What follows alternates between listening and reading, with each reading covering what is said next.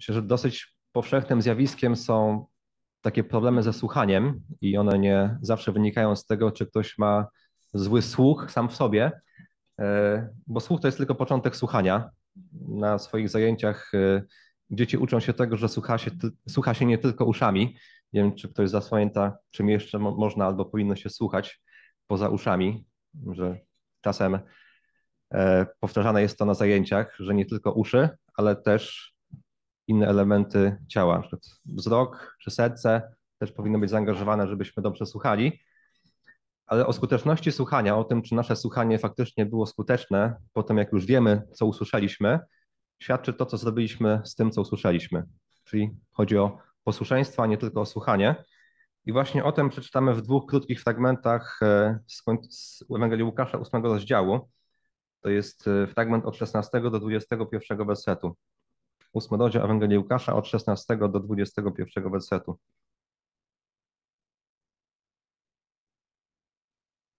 Nikt też nie zapala świecy i nie nakrywa jej naczyniem, ani nie stawia pod łóżkiem, ale stawia ją na świeczniku, ażeby widzieli światło ci, którzy wchodzą. Nie ma bowiem nic ukrytego, co by nie miało być ujawnione, ani nic tajemnego, co by nie miało być poznane i nie miało być na jaw. Baczcie więc, jak słuchacie, albowiem temu, który ma, będzie dodane, a temu, który nie ma i to, co sądzi, że ma, zostanie odebrane. I przyszła do niego matka z braćmi jego, ale nie mogli dotrzeć do niego z powodu tłumu. I doniesiono mu matka twoja i bracia twoi stoją na dworze i chcą widzieć się z tobą. On zaś odpowiedział im, matką moją i braćmi moimi są ci, którzy słuchają Słowa Bożego i wypełniają je. Więc jest to dalsza część e, tego tematu słuchania. Wcześniej Jezus mówił swoim uczniom przypowieść o siewcy. Ona też dotyczyła tego tematu, tematu właściwego słuchania. I potem uczniowie, nie wiedząc co ona oznacza, prosili o wyjaśnienie, więc Jezus wyjaśnił tą przypowieść. E, potem kontynuuje, po tym jak wyjaśnił tamtą przypowieść, kontynuuje dalej ten sam temat, temat słuchania. I tutaj najpierw jest taki krótki obraz o świecy, nie o siewce, tylko o świecy, bardzo blisko brzmiące słowa. Potem jest wyjaśnienie i potem jest zastosowanie tego obrazu. I mamy drugi fragment, bo to są dwa takie krótkie inne fragmenty od 19 wersetu, gdzie jest scena, do, gdzie do Jezusa przychodzi jego rodzina. Więc dwa krótkie fragmenty, które mają wspólny jeden mianownik, właśnie temat słuchania. I w tym pierwszym fragmencie mamy tak naprawdę takie trzy, można powiedzieć do pewnego stopnia odrębne stwierdzenia Jezusa. I one są zbudowane właściwie jak takie krótkie kazanie. Bo ten pierwszy werset to jest taki obraz, drugi werset to jest wyjaśnienie, a trzeci werset to jest zastosowanie tej prawdy, którą przedstawia ten obraz. Kiedy patrzymy na słowa o tej zapalonej świecy, to dobrze mieć w głowie te e, słowa i wnioski z tej przypowieści o siewcy, żeby się nie pomylić, świecy i siewcy, bo to jest dalej ten sam temat e, i Pan Jezus po prostu używa jeszcze jednego sposobu, żeby wyjaśnić to, czego wcześniej nauczał. Więc ponownie sięgnął po to, co jest, co było znane jego słuchaczom, czyli po to, co było dla nich codzienne. Codziennie zapalali świecę, codziennie stawiali ją we właściwym miejscu. Dla nas to już nie jest codzienność. My mamy inne rzeczy, które nam oświetlają e, pomieszczenia, kiedy jest ciemno. A świeczki to może bardziej stosujemy, żeby jakoś miłe, w miły sposób zaaranżować otoczenie, żeby był zapach przyjemny, bo te świeczki czasem bardziej temu służą nie, żeby dać światło, tylko żeby był miły zapach. E, wkładamy je do jakichś dekoracyjnych lampionów, więc to jest bardziej ozdoba, to jest coś dodatkowego. Mamy żadówki, no chyba, że czasem, chociaż to może bardziej w przeszłości, przynajmniej z mojego doświadczenia w przeszłości, w dzieciństwie, bywały takie sytuacje, że brakowało prądu.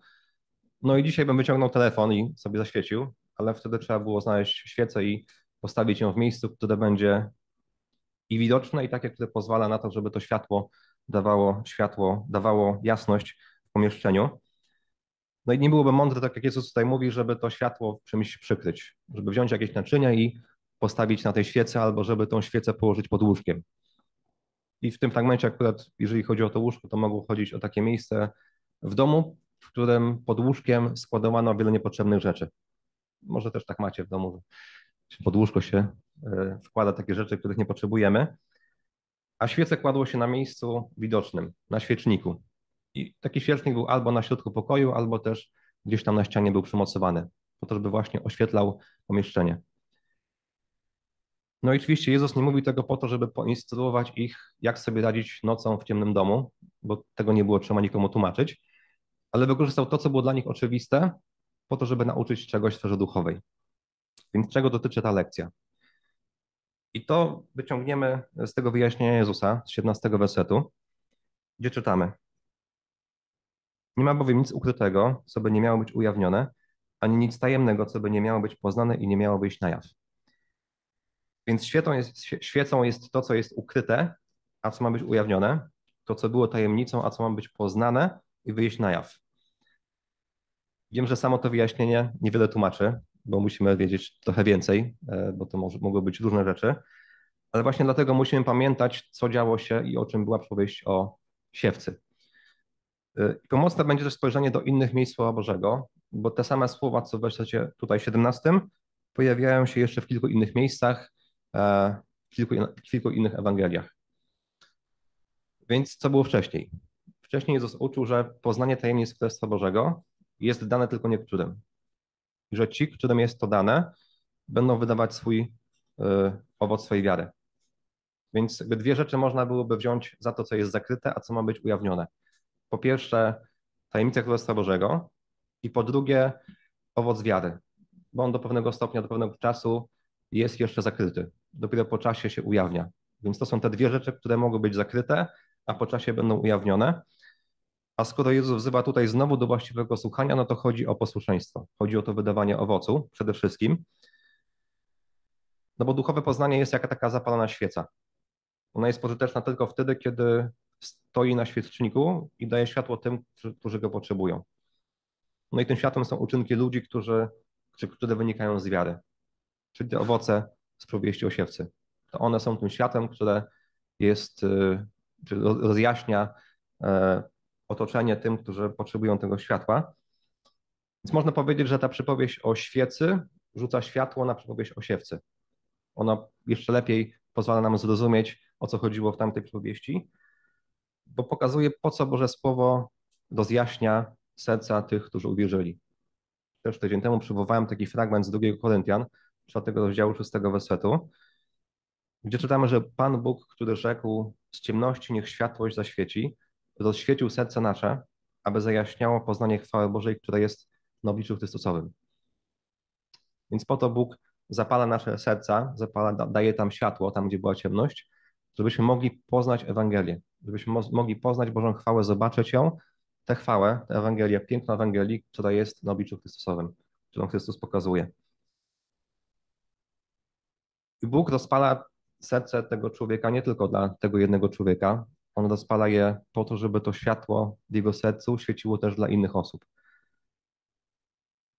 Być może spotkaliście się z takim dosyć prowokacyjnym pytaniem. To jest dosyć abstrakcyjne pytanie, ale zadam je, bo ono myślę, że bardzo dobrze pokazuje, o co tutaj chodzi. Wyobraź sobie, że jakiś sąd ma ustalić, czy jesteś chrześcijaninem. Że jest taka rozprawa sądowa, na której stajesz i teraz chodzi o to, żeby ustalić poprzez przesłanki, poszlaki, czy jesteś chrześcijaninem. No i pytanie brzmi, czy, czy jest wystarczająco dużo dowodów, żeby to potwierdzić? Bo to światło, które jest w tobie, powinno być widoczne dla tych, którzy są w twoim otoczeniu, którzy ciebie znają. Oni powinni widzieć, że różnisz się od innych ludzi.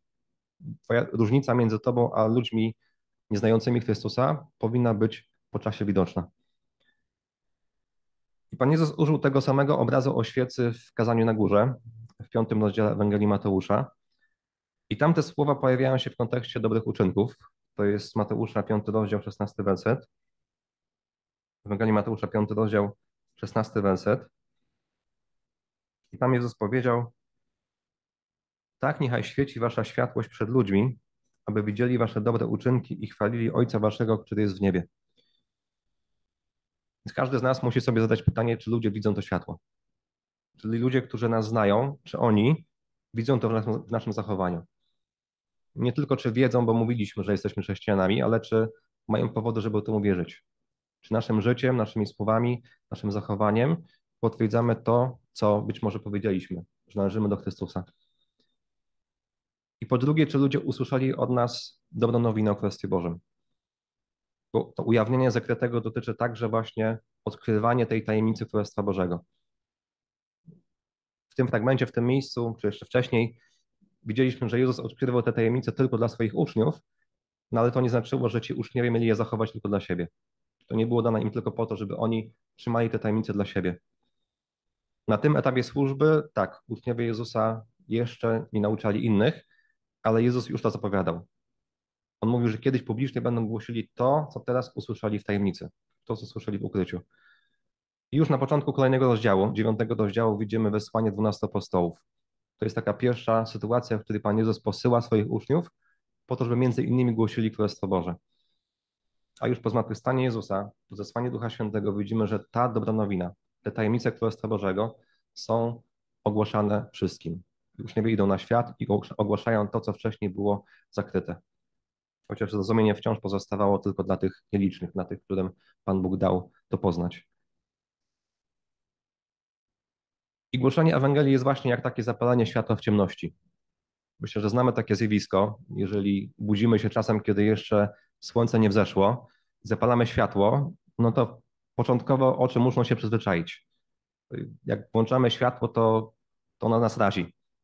To samo światło, które w, w ciągu dnia nawet moglibyśmy go nie zauważyć, bo byłoby takie blade w porównaniu ze światłem słońca, ale kiedy jest ciemno, to nawet takie słabe światło potrafi porazić nasze oczy.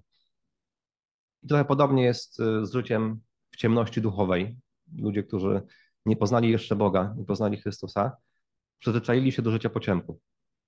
Tak jak jesteśmy w ciemności, to też po jakimś czasie zaczynamy dostrzegać pewne zarysy, kontury i tak dalej, a jak włączymy światło i zgasimy ponownie, to już tego nie widzimy, tak? Tak dobrze. Podobnie z życiem w ciemności. Ludzie uczą się funkcjonować po ciemku, ale Bóg, który rozświeca serce, daje nam poznać Ewangelię i daje nam poznać po to, żebyśmy to światło rozdawali dalej. I zobaczmy jeszcze ostatni werset tej części, werset 18. Są tutaj y, dwie grupy ludzi. Baczcie więc, jak słuchacie, albowiem temu, który ma, będzie dodane, a temu, który nie ma i to, co sądzi, że ma, zostanie odebrane. Więc pierwsza grupa to są ci, którzy już coś mają i im będzie dodane. Ale do czegoś nie mają, chociaż myślą, że to mają, i tym zostanie odebrane nawet to, co myślą, że mają. Więc znowu enigmatycznie, znowu myślę, że sam ten werset nie mówiłby nam wiele, dlatego trzeba to rozjaśnić. E, widzimy tutaj, że to jest takie zastosowanie lekcji, którą Jezus przedstawił w tym obrazie ze świecą. I ponownie ma to związek z tą wcześniejszą przypowieścią o siewcy, tym bardziej, że biorąc pod uwagę, w którym miejscu pojawiają się te same słowa w Ewangelii Mateusza. Bo u Mateusza te słowa pojawiają się właśnie w środku przypowieści o siewcy. Między samą przypowieścią, a między wytłumaczeniem tej przypowieści. Więc one bardzo mocno są związane z tym, czego Jezus nauczał właśnie w tamtej przypowieści. Jezus powiedział tam swoim uczniom, że im jest dane poznanie tajemnic Królestwa Bożego, więc tym jest to, co jest dane, tajemnice Królestwa Bożego, i powiedział też, że wielu osobom nie jest to dane. Więc tym, co jest dane albo nie jest dane, jest poznanie tajemnic Królestwa Bożego. Czyli tą pierwszą grupą są ci, którzy słuchają Słowa Bożego z ufnością i posłuszeństwem. To są ci ludzie, którzy będą doświadczali duchowego wzrostu. Im będzie dane więcej, będzie im dodane ten wzrost duchowy. Bo Słowo Boże daje, czy zapuszcza korzenie i daje obfity owoc, wydaje obfity owoc. I to jest owoc w mocniejszej wierze, to jest owoc w takim głębszym poznaniu Boga, Jego słowa. I można to też przedstawić e, słowami z listu do Rzymian, z ósmego rozdziału, w 32 wersecie listu, ósmego rozdziału listu do Rzymian. Tam też czytamy o czymś, co Bóg nam dał i co nam jeszcze doda. List do Rzymian, 8 rozdział, 32 werset. On, który nawet własnego syna nie oszczędził, ale go za nas wszystkich wydał, jak żeby nie miał z nim dodawać nam wszystkiego. Więc jeżeli Syn Boże jest Twoim Panem, to otrzymasz wszystko, czego potrzebujesz. Nie wszystko, czego chcesz, bo to jest różnica, ale wszystko, czego według Pana Boga potrzebujesz. Natomiast jeżeli nie przyjąłeś Słowa Bożego ze szczerym sercem, jeżeli go nie wprowadzasz w życie, no to stracisz nawet to, co myślałeś, że masz. Nie to, co masz, tylko to, co myślałeś, że masz. Bo nikt, kto prawdziwie się nawrócił, nie straci swojego zbawienia. Ale jeżeli czyjaś wiara po czasie wygaśnie, no to znaczy, że nie był prawdziwie nawrócony. I to też widzieliśmy już wcześniej w tamtej przewieści o siewcy, że były takie gleby, które, tak jak gleba skalista, ziarno wzeszło, ale uschło. Albo kolejna gleba, gdzie ziarno zostało zduszone przez cienie. Więc początkowo wydawało się, że coś tam jest, jest życie, ale potem tego życia nie było. I takie dodawanie i odejmowanie to w pewnym stopniu ma miejsce już tutaj na Ziemi, natomiast ostatecznie wydarzy się to na sądzie ostatecznym. Bo jeżeli żyjemy wiarą, to taką, która rodzi owoce, taką wiarą, która robi użytek ze słuchania Słowa Bożego, no to Bóg wręczy nam nagrodę życia wiecznego. Jeżeli czyjaś wiara nie prowadzi do takiego posłuszeństwa, to Bóg zabierze nam nawet to, co myśleliśmy, że mamy. I podobne znaczenie jest w innej przypowieści, w przypowieści o talentach. Tamta przypowieść pod koniec y, ma taki obraz, który odnosi się do sądu ostatecznego. Tam mieliśmy sługów, którzy, sługi, którzy otrzymali e, talenty, którzy otrzymali majątek. I na koniec czytamy te same słowa, co tutaj u Łukasza. Tutaj znów w tej Ewangelii Mateusza pojawiają się te słowa o daniu i odebraniu. To jest Ewangelia Mateusza, 25 rozdział, 29 i 30 werset. To jest wtedy, kiedy ten właściciel tych talentów, które rozdał, powraca i słyszy, co ci słudzy z nimi zrobili.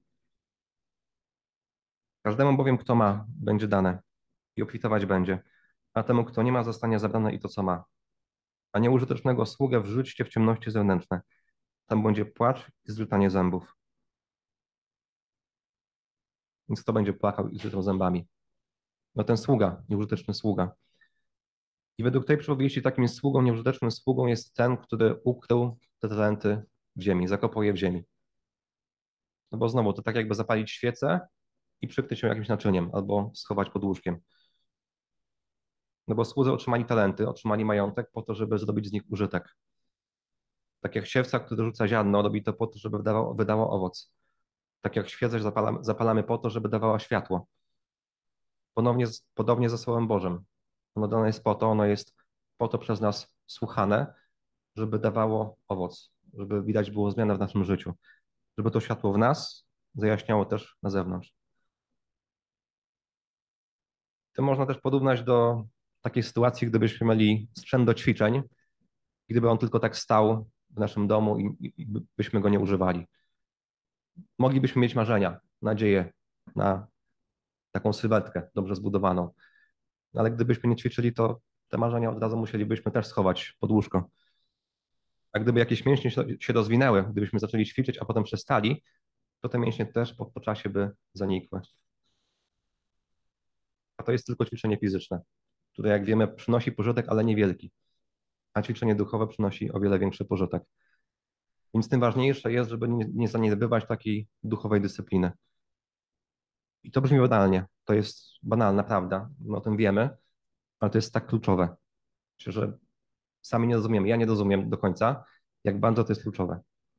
Ale widzę to i po sobie, i po innych osobach, jak brak tych rzeczy w życiu, jak brak modlitwy, jak brak czytania Słowa Bożego, jak brak społeczności z Kościołem wpływa na duchowe życie człowieka. Ogrom, ogromna różnica, jeżeli to jest, a jeżeli tego nie ma. Bo jeżeli to będziemy zaniedbywać, to nie mamy czego oczekiwać, jeżeli chodzi o duchowy wzrost. Nie możemy oczekiwać, że będziemy radzić sobie w trudnych doświadczeniach, jeżeli nie będziemy dbali o duchową kondycję. Więc nie nadużywajmy tej Bożej łaski. Bo są tacy, byli tacy i są tacy, którzy łaskę Bożą obracają w rozpustę. To są słowa listu Judy. O ludziach, którzy obracali Bożą łaskę w rozpustę. To byli ludzie, dla których Boża łaska stała się takim usprawiedliwieniem dla ich cielesnego życia. Do tego, żeby żyć dla siebie. Ale Boża łaska jest po to, żeby wskazać nam ogromną cenę, jaką Jezus zapłacił za nasze zbawienie. Łaska nie lekceważy posłuszeństwa. Jeżeli rozumiesz łaskę, to rozumiesz, że Bóg okazuje ją dlatego, że Jezus wypełnił prawo. Więc nie będziesz lekceważył Bożego prawa, bo ono jest ważne, bo ono okazuje Bożą sprawiedliwość. I Bóg nie potępi nas, tych, którzy uwierzyliśmy, że Jezus zapłacił za to, że to my złamaliśmy prawo, a On w nasze miejsce wziął te grzechy na siebie. I dlatego przyjęcie Bożej łaski nie będzie prowadziło do lekceważenia Bożego prawa. Owocem przyjęcia łaski jest wdzięczność, jest posłuszeństwo. I każdy chrześcijanin jest powołany do tego, żeby odwracać się od grzechu w swoim życiu, żeby dążyć do podobieństwa do Chrystusa. bo w przeciwnym razie grozi nam utrata tego, co myśleliśmy, że mamy, tego światła, które zobaczyliśmy. I podobny obraz widzimy w wielu miejscach, ale chciałbym zwrócić naszą uwagę na ostatnią księgę objawienia Jana, na listy do zborów, w szczególności list do kościoła w Efezie. Bo w listach do kościołów mamy z jednej strony wskazanie na rzeczy, które Pan Bóg pochwala w tych kościołach, a z drugiej strony rzeczy, które, których brakuje w tych kościołach. No i w związku z tym widzimy z jednej strony zachęty, widzimy, że Jezus mówi, że jeżeli wytrwają w posłuszeństwie, to otrzymają nagrodę, ale z drugiej strony widzimy groźby, że jeżeli nie odwrócą się od złego, jeżeli czegoś nie zrobią, no to spotka ich kara. I w drugim rozdziale, w piątym wersecie, objawienie Jana, widzimy takie słowa do kościoła w Efezie. Wspomnij więc, jakiej wyżyny spadłeś i upamiętaj się i spełniaj uczynki takie jak pierwej, a jeżeli nie, to przyjdę do ciebie i duszę świecznik twój z jego miejsca, jeżeli się nie upamiętasz. Efezjanie zaczęli dobrze. Tam wcześniej czytamy o takiej pierwszej miłości, którą mieli i do tego samego nawiązują te słowa, które wyzywają do spełniania uczynków takich jak pierwej, jak wcześniej. Natomiast jeżeli się nie opamiętają, no to tutaj widzimy, że Pan Bóg zabierze świecznik z jego miejsca. Ponownie ten obraz światła, świecznika, świec. W tym obrazie tym świecznikiem jest Kościół. To widzimy w poprzednim rozdziale, że to jest wyjaśnione, że świeczniki to są kościoły, więc Bóg zagroził im, że odbierze już im to, co mają, że nie będą już świecznikiem w Jego świątyni, bo świeczniki stałe w świątyni Bożej. Więc jeżeli Bóg zabiera świecznik ze świątyni, no to tak jakby Kościół przestawał być Kościołem Bożym. Może funkcjonować, mogą się gromadzić, ale nie będzie tam już pośród nich Ducha Bożego. I na koniec tego listu mamy też takie znajome wezwanie. Kto ma uszy, niechaj słucha, co Duch mówi do zborów. Więc podobne słowa o słuchaniu. Przejdźmy teraz do kolejnej części, do tej drugiej części, do tej sceny, gdzie pojawiają się nowe osoby, czyli bliscy Pana Jezusa. To wersety 19 i 20. I przyszła do niego matka z braćmi jego, ale nie mogli dotrzeć do niego z powodu tłumu. I doniesiono mu matka twoja i bracia twoi stoją na dworze i chcą widzieć się z tobą. I Mateusz i Marek y, umieścili tę przypowieść, te właściwie nie przypowieść, ale ten, tę scenę przed przypowieścią o siewcy. Tutaj mamy ją po tej przypowieści. I Marek dodał przy tym jeszcze kilka szczegółów y, dotyczących okoliczności tego spotkania.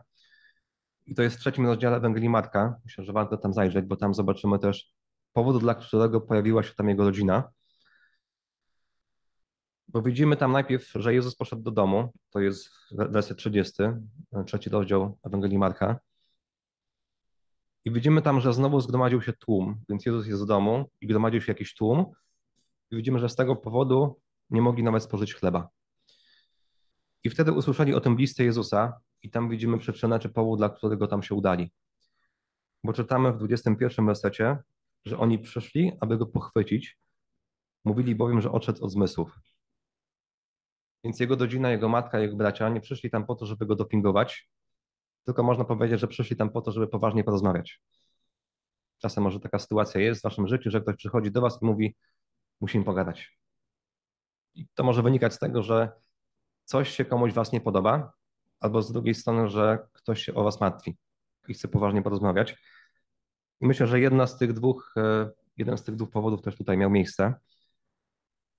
Wiemy o tym, że bracia Jezusa na początku w Niego nie wierzyli. To widzimy w innych Ewangeliach, w Ewangelii Jana, że bracia Jezusa w Niego nie wierzyli. O matce wiemy to, co mówiła przed narodzeniem Jezusa. Wiemy, że ufała Bogu, natomiast jednocześnie też nie do końca rozumiała Jego misję. Bo nie rozumiała na przykład słów, które prorok Symeon mówił w świątyni. Nie rozumiała i była zdziwiona tym, dlaczego Pan Jezus został w świątyni, jak miał 12 lat. Więc podobnie jak wiele innych osób, Maria, która ufała, że Jezus jest kimś wyjątkowym, że jest Mesjaszem, nie do końca rozumiała tego, na czym polega jego misja. Dlatego tutaj też przychodzi z jego braćmi, którzy w ogóle w niego nie wierzyli. No właśnie, braćmi. Myślę, że to jest temat, który y, budzi pytania i wątpliwości. Jest cała dyskusja o tym, czy Jezus faktycznie miał braci, a może co ważniejsze, czy Maria miała dzieci. No bo jeżeli Maria miała dzieci, no to nie mogła być zawsze dziewicą. No, to nie jest celem tego fragmentu, ale nie da się tego pominąć, trzeba się do tego jakoś odnieść, bo właśnie z tego powodu, że katolicy uważają, że Maria no, musiała być zawsze dziewicą, to nie mogła mieć innych dzieci, w związku z tym Jezus nie mógł mieć braci ani sióstr. W związku z tym uważają, że to byli jego kuzyni, albo że byli to przyrodni bracia Jezusa, że byli to synowie Józefa z poprzedniego małżeństwa. Biblia nie mówi nic o tym, żeby Józef miał jakąś wcześniejszą żonę. Nie mówi też, że nie miał, więc mógłby mieć. Natomiast po prostu, gdyby Józef miał dzieci z poprzedniego małżeństwa, no to mogli to być jego przyrodni bracia. No ale pytanie, czy tak było? Czy faktycznie możemy tak stwierdzić? Bo brat to po grecku adelfos i to słowo oznacza po prostu brat, biologiczny brat. Czasami jest używane w innym znaczeniu, czasami jest używane, żeby opisać relacje między rodakami. Na przykład Paweł mówi do swoich rodaków, do Żydów, bracia, albo też tak mówiono między chrześcijanami, bracia. To słowo jest też użyte w greckim tłumaczeniu Starego Testamentu i tam jest używane do opisania nie tylko relacji między braćmi, ale na przykład między Abrahamem i Lotem. Więc pokrewieństwo trochę dalsze niż bracia.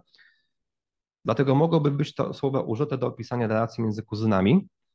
Natomiast język grecki ma też inne słowo na kuzyna i to słowo pojawia się w Nowym Testamencie. Więc gdyby to byli kuzyni, to pewnie tutaj Łukasz użyłby innego słowa, ale na podstawie tego nie można tego wykluczyć. Natomiast o znaczeniu decyduje przede wszystkim kontekst. To, w jakiej sytuacji pojawia się to słowo. I tutaj widzimy, że bracia Jezusa przyszli razem z Matką Jezusa. Czyli nie przyszli z ciotką Jezusa, z jego ciocią, tylko przyszli z Matką Jezusa. Więc trochę byłoby dziwne, gdyby to byli kuzyni, którzy przychodzą nie ze swoją mamą, tylko z mamą Jezusa. Natomiast gdyby to byli synowie Józefa, no to też pytanie, czemu przychodzą z matką Jezusa, a nie z, na przykład z, ze swoją matką, jeżeli taką jeszcze mieli. No i gdyby to byli kuzyni, no to jak rozumieć dalsze słowa Jezusa? Bo Jezus dalej mówi, że jego matką i braćmi są ci, którzy słuchają Słowa Bożego. Co by to oznaczało, gdyby chodziło o kuzynów? Że jesteśmy duchowymi kuzynami Jezusa? Że w Kościele jesteśmy dla siebie kuzynami i kuzynkami? Najprostsza interpretacja to jest taka, że to, byli, to były dzieci, to byli synowie Marii i Józefa, że to byli biologiczni bracia Jezusa. Bo doszukiwanie się tutaj kuzynów albo przyrodnich braci Jezusa nie wynika z tego tekstu, to wynika ze wcześniejszego założenia, że Maria nie mogła mieć dzieci. I teraz trzeba znaleźć jakieś potwierdzenie tego, że tak było. A są miejsca w Nowym Testamencie, gdzie, gdzie nawet widzimy imiona tych osób. Widzimy, że bracia Jezusa to byli Jakub, Józef, Jozes, Juda i Szymon. Czterech braci. To widzimy u Marka i u Mateusza. Widzimy tam też siostry, chociaż nie widzimy, nie poznajemy ich imion. I co ciekawe, w obu tych miejscach e, imiona braci pojawiają się obok matki, a nie obok Józefa. U Marka Józef nawet nie jest wspomniany. Więc tym bardziej nie pasuje teoria, że to byli synowie Józefa, albo że to byli kuzyni. No bo skoro to, gdyby to byli kuzyni Jezusa, gdyby to nie były dzieci Marii Józefa, to dlaczego pojawialiby się obok Marii Józefa? No, za bardzo nie ma to sensu. Ale spójrzmy na odpowiedź Jezusa w 21 wersecie. On zaś odpowiedział im: Matką moją i braćmi moimi są ci, którzy słuchają Słowa Bożego i wypełniają je. Te słowa mogą nam się wydawać takie surowe, takie szorstkie, ale to nie chodzi o to, że Pan, Pan Jezus się wypiera rodziny albo że nie okazuje im szacunku. Bardziej chodzi o to, że Jezus wykorzystał to zdarzenie, to spotkanie, żeby dać lekcję o duchowej e, prawdzie, o duchowej rodzinie. Bo te słowa Jezusa pokazują taką wyższość tych wiecznych, e, tych relacji w duchowej rodzinie. Bo to nie znaczy na przykład, że jeżeli bracia Jezusa w Niego nie wierzyli, to nie byli Jego prawdziwą rodziną. Byli prawdziwą rodziną, natomiast e, to pokazuje znaczenie słuchania Słowa Bożego. To jak ważne dla Jezusa jest słuchanie i wykonywanie Słowa Bożego, no bo to pokazuje, że ktoś jest rodziną Jezusa, że ktoś należy do Bożej rodziny. Nie pokazuje tego, że w ten sposób stajemy się Bożą rodziną, ale to świadczy o tym, że nią jesteśmy. Trzy lata temu e, w Polsce przeprowadzono takie badanie. Cebos zapytał Polaków, jakie wartości są dla nich najważniejsze. i każdy badany miał podać pięć wartości, jakie według nich są najważniejsze w ich życiu. E, I chyba nie będzie zaskoczeniem to, że jako najważniejszą wartością Polacy wymieniali szczęście rodzinne. Aż 80% osób wymieniało to na pierwszym miejscu jako jedną z najważniejszych wartości. Na drugim miejscu było zachowanie dobrego zdrowia 55%. I myślę, że to są takie odpowiedzi, których moglibyśmy się spodziewać. Natomiast pytanie, co w związku z tym, jeżeli chodzi o słowa Jezusa? Jak w związku z tym podejść do słów Jezusa? No bo wynika z nich, że ta biologiczna rodzina wcale nie jest najważniejsza. Jest ważna, żeby nie było. Słowo, że to podkreśla, Słowo, że mówi, że to Bóg zaplanował to w ten sposób, że ludzie łączą się w rodzinę, tworzą rodzinę. Słowo Boże mówi o szacunku do rodziców, mówi o tym, żeby małżonkowie okazywali sobie wzajemnie miłość, żeby sobie służyli. Mówi o tym, żeby rodzice wychowywali i brali odpowiedzialność za swoje dzieci. Więc rodzina jest ważna. Natomiast te duchowe relacje są trwałe, one są wieczne. Biologiczne są tylko tutaj na ziemi. Duchowe relacje będą z nami na wieczność. I już samo życie Jezusa pokazuje właśnie taką hierarchię. Bo Jezus oczywiście był posłuszny rodzicom, okazywał szacunek. Wszystko wskazuje na to, że, że do 30 roku życia mieszkał ze swoją rodziną. Prawdopodobnie nawet to on troszczył się o byt swojej matki, bo wydaje się, że Józef już umarł, zanim Jezus zaczął swoją służbę, więc ktoś musiał zatroszczyć się o swoją matkę. Prawdopodobnie Jezus robił to tak jak jego ojciec, jak, jak, jak, jak Józef. Też, też był cieślą, więc w taki sposób troszczył się o ten materialny byt. Natomiast kiedy Jezus zaczął swoją służbę, no to widzimy, że ważniejsze były dla niego tego, te duchowe więzy. Bo widzimy to w kilku sytuacjach i widzimy to także wcześniej, kiedy Jezus powiedział swoim rodzicom, że on musi być w tym, co jest jego ojca. I tutaj nie mówił o warsztacie stolarskim Józefa, on mówił tutaj o świątyni swojego Boga w niebie, swojego Ojca w niebie. I dlatego Jezus przebywał ze swoimi uczniami. Dlatego spędzał z nimi czas, dlatego robił to, do czego był powołany i to robił to, dla, nie dla, robił to niezależnie od tego, czy jego rodzina to popierała i rozumiała. To było nieistotne, tak? Robił to dlatego, że jego ojciec to pochwalał. Jego ojciec go do tego powołał, więc niezależnie od tego, czy jego rodzina to rozumiała, nieważne, czy popierała, to Jezus to robił. Więc kiedy ty też decydujesz się iść za Jezusem, to może cię to kosztować pogorszenie relacji rodzinnych. Może ciebie to kosztować zadbanie tych relacji. Mam świadomość, że część z nas doświadczała czegoś takiego do pewnego stopnia. Dlatego, że zdywaliśmy z rodzinną tradycją. Dlatego, że nasi ojcowie, nasi dziadkowie byli jakiejś wiary, my przestaliśmy, my się odrzuciliśmy. I Słowo Boże też nas, nas o tym uprzedza. Jezus zapowiedział, że Jego przyjście będzie prowadziło do takich konfliktów w rodzinie.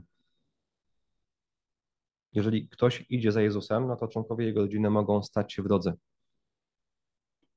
Nie to, że my po nawróceniu mamy być wrogami dla swoich członków rodziny, natomiast możemy spotkać się z wrogością, bo im może się coś nie podobać. Natomiast zwróćmy uwagę, że Jezus nie mówił tutaj o żonach, czy o mężach, czy o dzieciach. On mówił o braciach i o matce, więc y, nie bierzmy takiego, nie wyciągamy takiego wniosku, że nie mamy traktować poważnie relacji rodzinnych, że nie mamy troszczyć się o małżonków, że nie mamy troszczyć się o dzieci, bo te osoby, małżonkowie, dzieci są taką pierwszą odpowiedzialnością każdego, kto ma żonę, kto ma męża, kto ma dzieci. Więc niech ta duchowa rodzina nie będzie też taką wymówką do dbania o relacji w tej biologicznej rodzinie. Bo byłoby źle, gdyby te duchowe relacje, gdyby Kościół stał się jakąś taką rekompensatą trudności rodzinnych. Gdyby ktoś angażował się w Kościele, dlatego że w rodzinie nie wychodzi. I to jest jakimś takim odpracowaniem sobie tego, co nie wychodzi w rodzinie. Ale z drugiej strony niech ta troska o małżonka, o dzieci nie będzie wymówką do tego, żeby nie dbać o relacje w Kościele. Bo to nie będzie dobre ani dla ciebie, ani dla małżonka, ani dla dzieci. Bo jeżeli dzieci nie będą widziały, że tobie zależy na kościele, że dbasz o relacje w kościele, to nie oczekuj, że tak samo będzie z, twoim dzieckiem, że twoje dziecko będzie chciało być częścią kościoła, że będzie chciało też dbać o relacje z wierzącymi. Bo jesteśmy powołani do życia jak rodzina. Bo jesteśmy rodziną, więc żyjmy jak rodzina. Nawrócenie nie jest tylko pomiędzy tobą a Panem Bogiem. To nie jest tylko taka relacja, to jest też relacja w ten sposób między każdym członkiem ciała Chrystusa. Bo wszyscy jesteśmy jednym ciałem w Chrystusie, ale każdy z osobna jest członkiem jedni drugich. To list do Rzymian.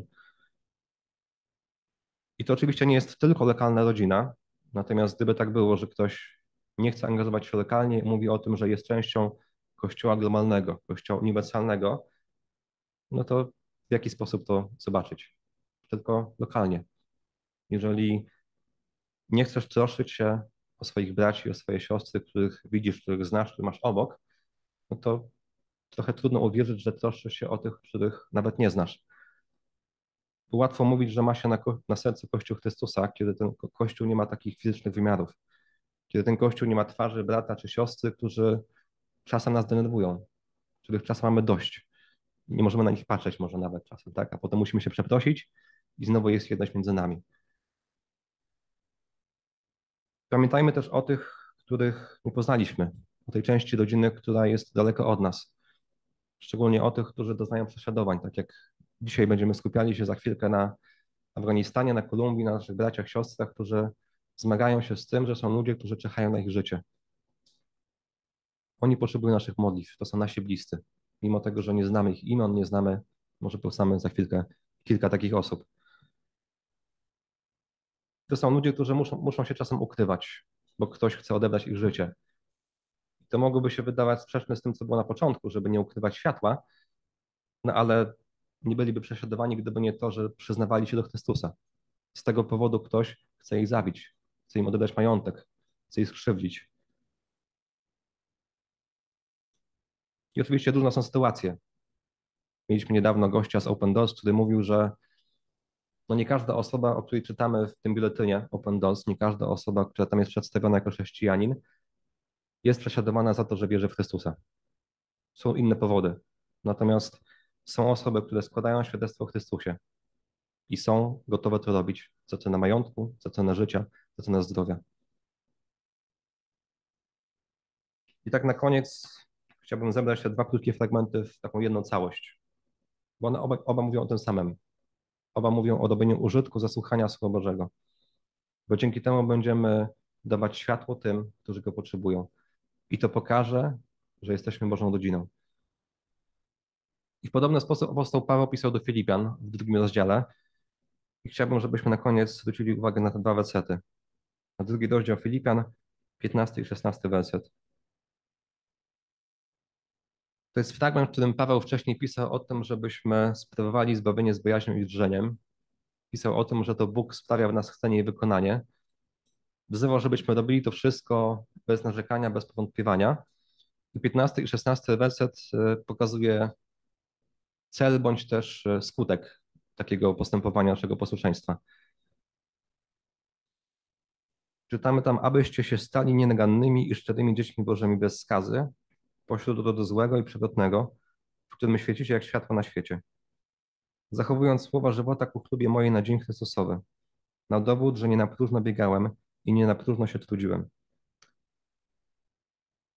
I tutaj też może komuś się wydawać, że to posłuszeństwo Bogu sprawia, że jesteśmy dziećmi Bożymi, natomiast tutaj chodzi o to, żeby ci, którzy są dziećmi Bożymi, pokazali swoją nienaganność i szczerość.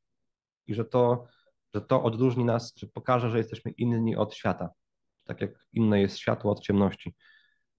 Bo wtedy będzie widać, że jesteśmy Bożą rodziną, że jesteśmy braćmi, jesteśmy matką, tak, kobiety, matkami Jezusa, nawet w taki sposób Pan Jezus to ujął. Czyli znowu jakby to samo, tak, te relacje rodzinne, które są tutaj podkreślone. I sposobem na to jest to, co widzimy w 18, w 16 wersecie. Sposobem jest to, żeby zachowywać słowo życia. Czyli znowu to samo, co wcześniej tej przypowieści o siewcy. Zachowywanie i wykonywanie, czy słuchanie i zachowywanie Słowa Bożego i wydawanie obfitego owocu poprzez posłuszeństwo. Bo są takie rzeczy, których na dłuższą metę nie da się ukryć. Jeżeli Bóg rozświecił Twoje serce, to to będzie widać na zewnątrz, bo nie ma nic ukrytego, co nie będzie ujawnione. Nie ma chrześcijaństwa bez objawów. Nie ma takiej choroby, jak bezobjawowe, bezobjawowe chrześcijaństwo. I oby ludzie mogli poznać to po naszym życiu, że jesteśmy inni od świata. I oby mogli usłyszeć, dlaczego jesteśmy inni, bo to pokaże, że jesteśmy członkami Bożej rodziny. Amen.